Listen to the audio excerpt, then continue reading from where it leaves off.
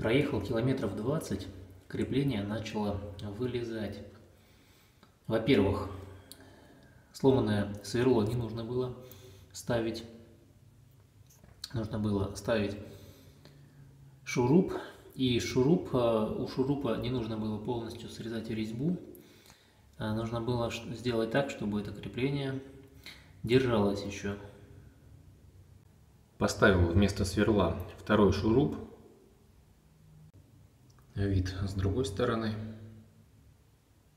С помощью резьбы зафиксировать крепление не получится. Можно использовать винты с гайками, но сначала винты нужно будет закалить.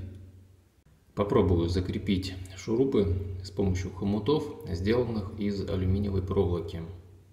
Чтобы проволока держалась, сделал в шляпке шурупа прорезь э, под плоскую отвертку. Использовал для этого вот такой надфиль. По-хорошему, такие шурупы нужно еще красить, потому что они не оцинкованные и при соприкосновении с водой будут ржаветь.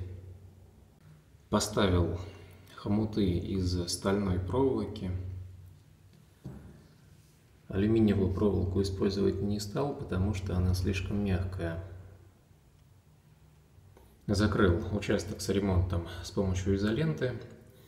Она поможет не цепляться за крепление и будет препятствовать попадению воды внутрь.